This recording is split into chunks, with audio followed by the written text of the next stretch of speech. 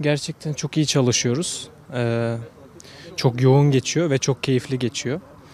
Ee, ikisinde oynayacağımız bir Ukrayna maçı var. Ee, ona tam kadro sıkı bir şekilde çalışıyoruz.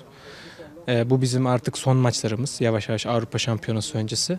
Yani artık Avrupa Şampiyonası'na elemeleri geçip gitmek istiyoruz. Orada iyi işler yapmak istiyoruz. Bunun için he- hepimiz hepimiz bunun bilincindeyiz. Herkes gerçekten çok iyi çalışıyor bunun için. Neler yaşadın? E, O dönemden bize biraz bahsedebilirsen. Ya o dönem e, yani zordu tabii ki de ama nasıl diyeyim yani kader bana e, bunu yaşatacakmış. Bunları görmem gerekiyormuş. Futbol futbolun içinde bunların olduğunu ben bilerek zaten bu işe başladım. Hiçbir şeyden de korkum yoktu yani. Bunlar e, beklediğim şeyler. Futbolun içinde her zaman e, bu tarz şeyler oluyor. Ben en iyi şekilde e, göğsümü gererek bunlara karşı çıkmaya çalışacağım. Yani bu- bunlara dik durmaya çalışacağım diyeyim. E, Birçok şey yazılıp çizildi tabii. Ya ben hani hiçbir zaman hiçbir düşmanlığım da olmadı. Hiçbir şeyim de olmadı. İnşallah yani herkes yani hak ettiği yerlere gider, hak ettiği yer, hak ettiği şeyleri bulur. Büyük camialar istediği yerleri bulur. Tek dileğim bu kimseye kötü bir şey beslemiyorum.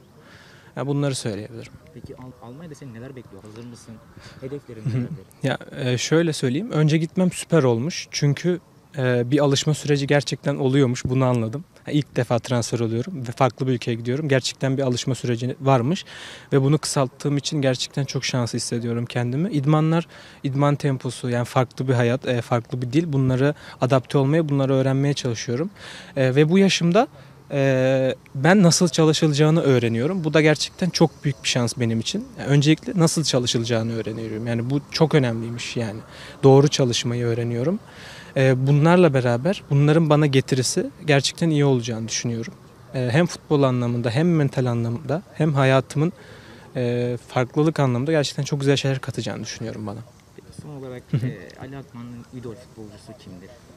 Ve Almanya'da Ya. şu futbolcuyla karşılaşacağım deyip heyecanlandığın bir isim var mı? Öncelikle bunu cevaplayayım. E, Haaland diyeyim. Gerçekten çok harika bir oyuncu. Lewandowski de var tabii ki de. Yani onlara karşı oynayabilmek de inşallah nasip olur diyeyim.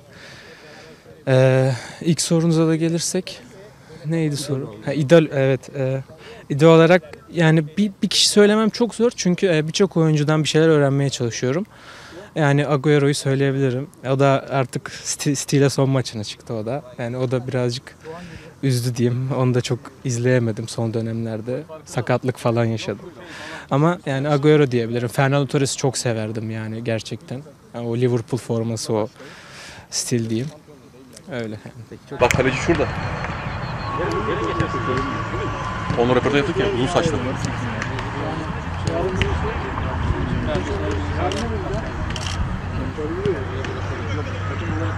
Oyunmuş bu ya. Tabii resim teklif yaptı. Çok bir şey olmaz. İki sene sonra. Hangi kitap? Sen doğan mı yani? Daha bir şey olmaz. Oturup oturmak. Ben şimdi tişört tişört karıştırdım. Ben boy boy. Soru yapmak ya. Şuna kalk. Kapalı çevirmiyor.